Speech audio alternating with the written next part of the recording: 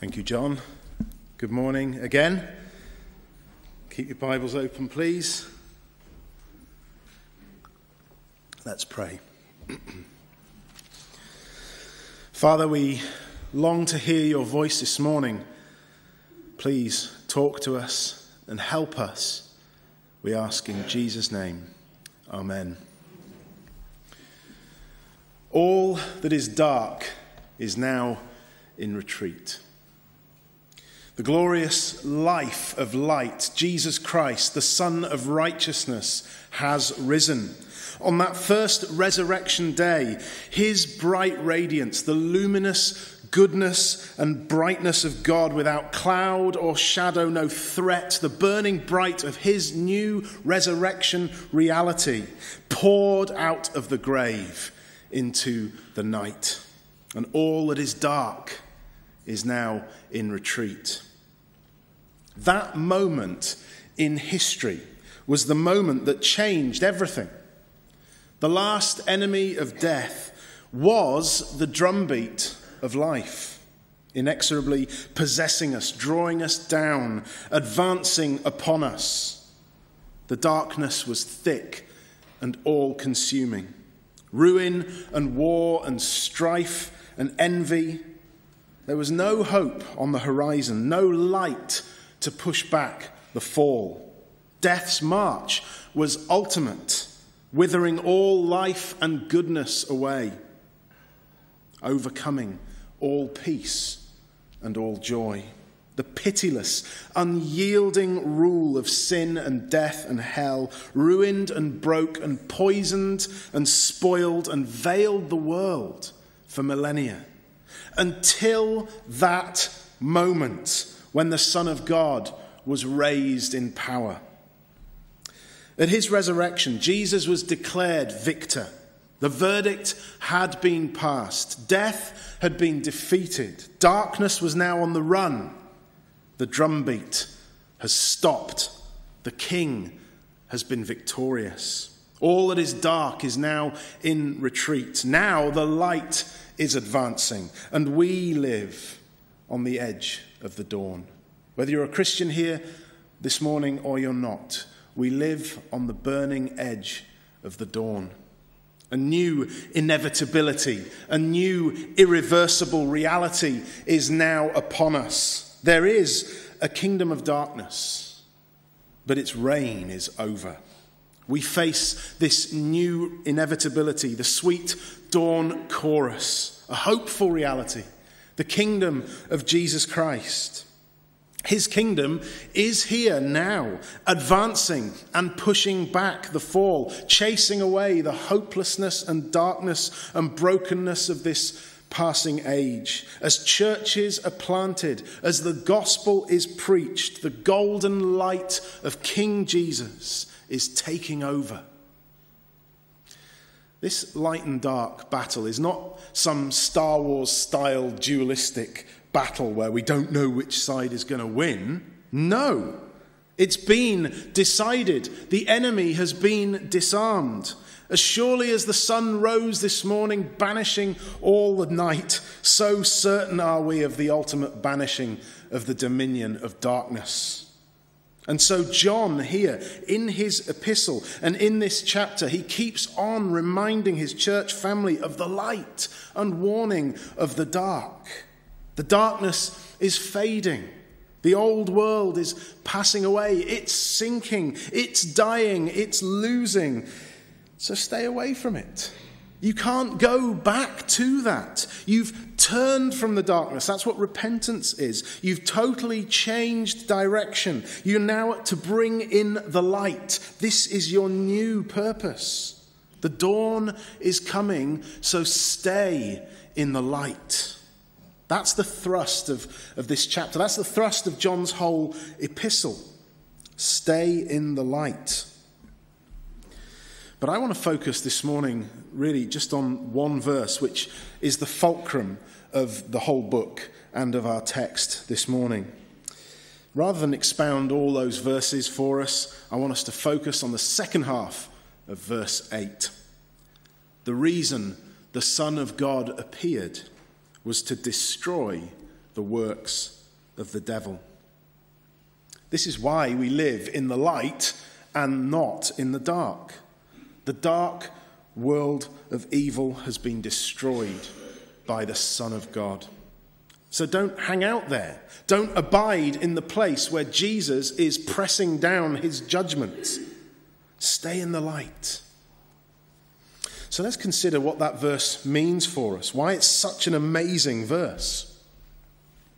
Think of light and think of dark. Think of God and think of the devil. God is light, and in him there is no darkness at all. Light holds no secrets, does it? God is one who reveals what he is up to. He speaks openly. Jesus made himself available to be examined, to be questioned. He was questioned in courts, he was examined by priests, and nobody could find any fault with him. They knew of his purity. He is open and available. He is the light and the truth. Nothing's hidden. What God says and who He is and all that He's done has been written down, and it's been kept secure for us and unchanged for millennia. His word has been translated into thousands of different dialects. Such is God's desire to be known by all people. There's no holding back. There's no holding back. That's what light is like. God's word is clear and available. And he even appoints witnesses, heralds, preachers to declare and carry on declaring who he is and what he's done. He is so committed, in fact, to this program of constantly pouring out truth into the world that he has appointed the whole universe to testify to his truth day and night. But this is not the way of the devil. This is not what happens in the darkness. The devil hides himself. He really doesn't want to be found or known for who he is. He lives in the shadows where his deeds can be concealed away. There's nothing public or open or available about him. Jesus speaks of him as a liar, a deceitful murderer from the beginning. There is no spark of good in him. There's no inner core of mercy that can be appealed to. He has no redeeming features whatsoever. He is a wolf dressed as a sheep. He disguises himself. He disguises himself as an angel of light when he is, in fact, the darkest of all. He's a master of deception so much so that if you were to survey a, a, a normal town like Worthing and maybe look around at our cultural artifacts, our stories, our films, we hear this idea that the only really evil people in our world are the murderers and the child molesters. Only the most despotic figures in human history would ever be described as under the control of Satan. So the vast majority of the world sleeps safely under the illusion that the devil and evil only exist at the very fringes of society, only among the truly twisted criminals. Absolutely no person out there really thinks that their lives are serving Satan. Outside of Christ, we would have to say his deception is comprehensive, masterful because that is not the picture of the devil that the Bible gives. God doesn't leave it up to fiction writers and dodgy so called spiritualists to imagine what the devil is like, or even just ordinary people and their ideas about it. The reality is actually far, far worse than even the most depraved imagination could fancy. Listen to what God says about the devil and the scope of his work and then we'll see why verse 8 is such a tremendously hopeful verse. So, in the book of Ephesians, chapter 2, Paul is speaking about the, the, the, depth of mankind's predicament outside of Christ, what the world is really like outside of Jesus. And he's saying to these Christians in Ephesus, before they were saved, before they were in Christ and under Christ, before you were saved, you were dead in the trespasses and sins in which you once walked. following the course of this world, following the prince of the power of the air, the spirit that is now at work in those who are disobedient. So Paul says there that, that Satan rules the world. The world meaning not the universe itself, but the, the, the corrupt, fallen human society. There in Ephesians 2, we learn that behind all the temptations and corruptions of the world is the devil, the ruler, the prince, who organizes the world and arranges things according to his godless purposes. So, this is why when Jesus comes into the world, we read in, in John chapter 1, verse 10, that even though it's his world, he made it, his hallmark runs right through everything, and, and even us as image bearers. Yet the devil has so blinded the world that even when Jesus comes into the world, we're like, well, who are you supposed to be? 2 Corinthians 4 4 explains this further. It says, The God of this world has blinded the minds of the unbelievers to keep them from seeing the light of the gospel of the glory of Christ, who is the image of God. We learn that the devil there is described as the God of this world. That is a terrifying title. His power is such that he's blinded people's minds so that they cannot see the light of the glory of the gospel of Christ. In John 12, verse 31, John 14, verse 30, and in 1611, the devil is likewise described as the ruler of the world. So the true living God, revealing God, the light, the, the powerful God, is hidden from his own creatures by the devil. His own world that he made is now ruled and controlled by the evil one. And since he is described as the God of this world, all those who are outside of Christ serve him and worship him with their blinded minds and eyes. As long as they remain blind to Christ, the true revelation of God, the image of God, the devil is happy. So, whether they worship him directly or by serving some other so called God or, or just by distracting themselves with life, consumed by consuming, so long as they're blind to Christ, the devil is happy. This is why Paul ends the book of Ephesians with that famous call to battle that our battle is not ultimately against human opposition to the gospel. That really is just the front to what is really going on, which is that the devil and his angels have sway over the world. Ephesians 6:12 For we do not wrestle against flesh and blood but against the rulers against the authorities against the cosmic powers over this present darkness against the spiritual forces of evil in the heavenly places.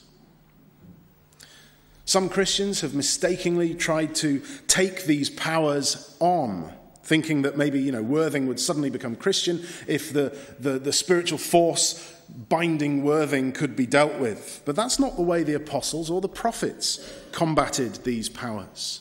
They preached the gospel. That is our only weapon in this war, as Paul makes clear there in Ephesians 6.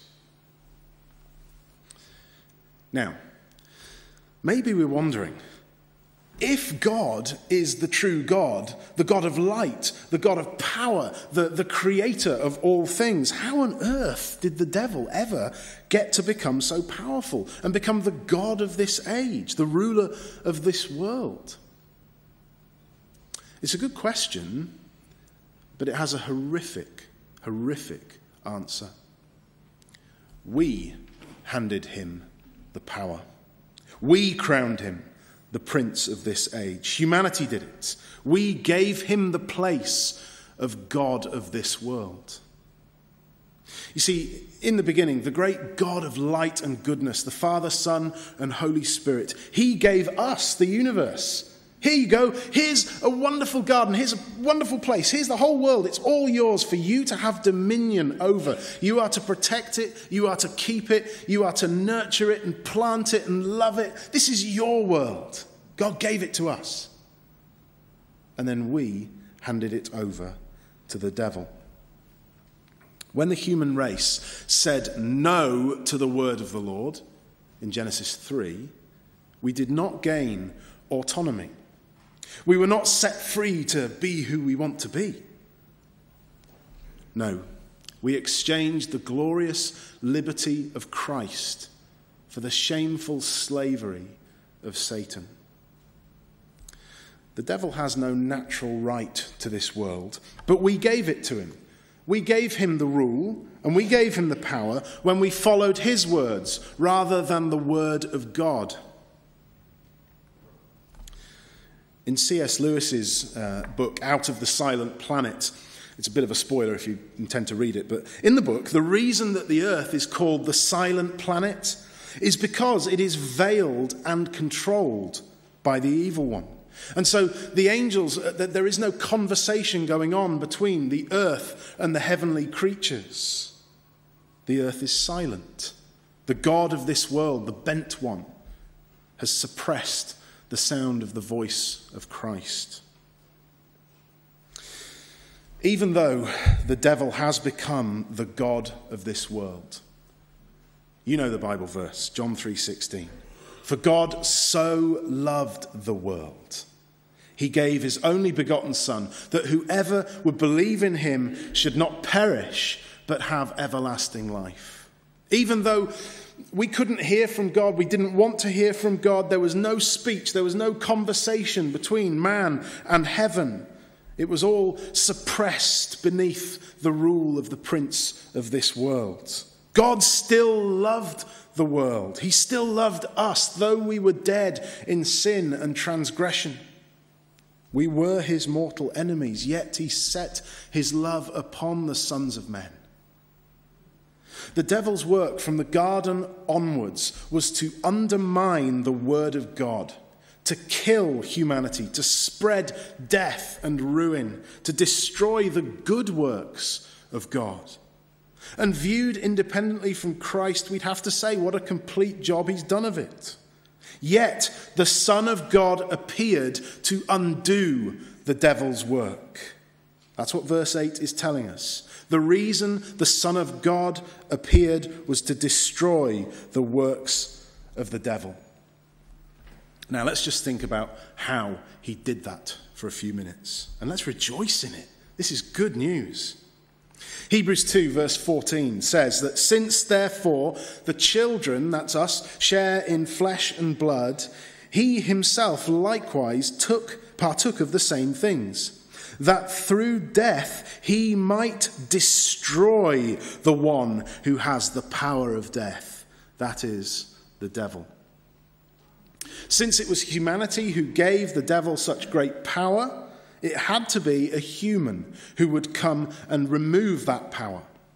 Since humanity had been given dominion, we had been made responsible for the world by God. It therefore had to be a human life that shouldered the responsibility of putting all things right, do you see?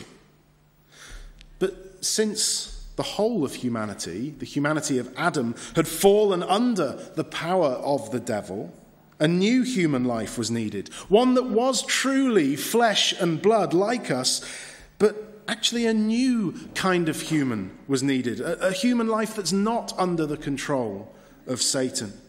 One who is able to break through that thick mantle that has created this silence. One who could come from heaven and open up that way again. One who was truly our flesh and blood in the full sense, but a new human. Think of it a human life that is not under the power of the devil. A human life, a human that knows, truly knows the Father, who can speak freely with the Father, and that communication can, can open up through him. A human life which is completely uncorrupted, a true human, a life which the devil has no hold over. Imagine it. Jesus tells us just before his crucifixion, John 14, verse 30, the ruler of this world is coming, but he has no hold over me. He was that man. He was the right man. But as 1 John 3, verse 8, our verse reminds us, the one born to destroy the works of the devil was no less than the Son of God. God didn't simply raise up a, a, a, an Adam that was identical to the first one who would simply just fall away again under the power of the devil. No, the second Adam would be divine with all the power and authority to destroy the devil's works. He would come from heaven to punch through that veil and to open the way back up. The one who destroyed the works of the devil was himself the union of God and man. God didn't leave this work up to a, a mere creature, no matter how grand that creature may be. God Himself joins the ranks of humanity to take on the devil. Though only a human could undo humanity's sin, yet humanity could not destroy the devil's work. Only God could do that. The human race has no power over the devil. We gave it to him. Therefore, it had to be the very Son of God who would come and destroy the works of the devil. And so that's what he did. He came to us, born of the Virgin Mary, one of us, but fully God, not like us, in that he was not under the control of Satan. The God man comes and makes his stand in the devil's own backyard the hardest, most dangerous, most difficult place on earth to resist the devil's temptations. Luke 4, verse 1, we see the, the Holy Spirit leading Jesus out into the wilderness to confront the devil, a desolate place, a lifeless place. Now, when humanity first met the devil, it was in the glorious Garden of Eden. Mankind was surrounded by the manifest goodness of God. Then it was the devil who was very much playing away. Surely you'd say that would be the hardest place to convince man to forsake God, surrounded by his manifest goodness and glory. The odds seemed stacked against the devil, but he succeeded, and humanity wickedly joined his rebellion. So Jesus meets the devil in a barren and lifeless infertile, dry place of death. He meets him surrounded by the manifest works of the devil lifelessness. In the beginning, Satan only needed one temptation to destroy the human race and to seize our power. But Jesus here, he tries three times to find a weakness in Christ and he fails each time. He is the right man. He is God's choice. Each of Satan's temptations were brilliant in their cunning, but each time were kicked immediately into touch by Jesus through his total confidence in the Word of God.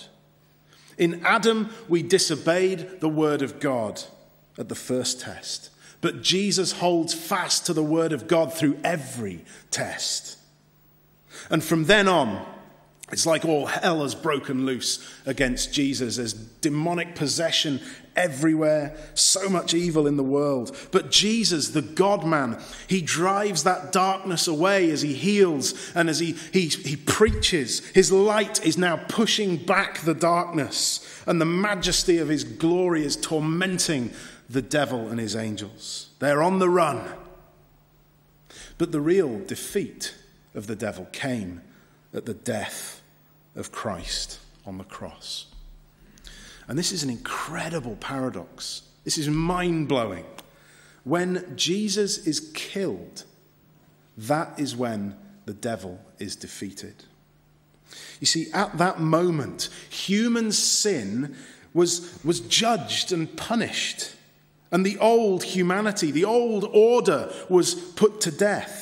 The old way, the way of darkness, the way of disbelief, the way of the rejection of God's word, of handing power over to Satan by humanity, it was killed in Christ. The light destroyed this great darkness. Humanity's evil choice for Satan, well, it was reversed at the cross for all who would come to Christ. The devil had held the power of death, but he overstretched himself And in killing God, he lost the power of death. The living one entered his lair. The light descended into that ultimate place of darkness. And though Jesus became sin for us, he himself knew no sin, and the power of death could not hold him because none of the sin was his.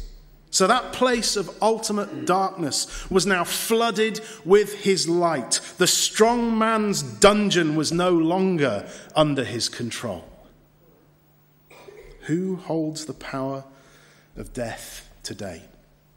Revelation 1 17. Jesus tells the Apostle John, I am the first and the last, and the living one. I died, and behold, I am alive for evermore, and I have the keys of death and Hades. Yes, death is swallowed up in the victory of the God man. Death could not and did not contain him. The mouth of the tomb shouts, Glory! The groom is alive. The devil's power is forever broken at the cross and resurrection of Jesus of Nazareth. And he's given to us, his bride, he's given to his people ultimate authority now to plunder the world over which the devil rules. Though we were once slaves of the devil, his subjects, his children. Now, through faith in Jesus Christ, we are called the children of God. 1 John 3, verse 1. See what kind of love the Father has given to us, that we should be called the children of God. And so we are. The devil cannot command our obedience any longer. He can blind our eyes no more because we walk in the light of Christ, the light that the devil can only shrink away from. It's so hopeful. It's such glorious news for mankind. Verse 2 Beloved, we are God's children now, and what we will be has not yet appeared. But we know that when he appears, we shall be like him, because we shall see him as he is. We live on the burning edge of this dawn. So everyone who thus hopes in him, it says, purifies himself as he is pure. So although we live in the world and Satan is still the God of this world, yet we don't need to fear him any longer. James 4, verse 7 says, Resist the devil, and he will flee from you. The strong man is bound, his house can be plundered. So let's set ourselves to plundering the devil's kingdom. If the splendor of this world's kingdoms belong to the devil, let's carry them all away for the glory of Christ. The devil cannot stand against the gospel of Christ. The devil cannot resist the power of the Holy Spirit. The devil cannot lock the doors of Hades against the church of Jesus Christ. We can take it all. By the appearing of Jesus, the Son of God, evil is vanquished and the devil is dethroned. Let us therefore live in the light. Let us promote the light. Let us radiate that goodness and light from ourselves. Let's put to death the deeds of the flesh. Let us wage war with the gospel of peace. Darkness has met its end in Jesus. It is in retreat. And we're in command now, with God as our captain. Let us plunder the world for Christ. Amen.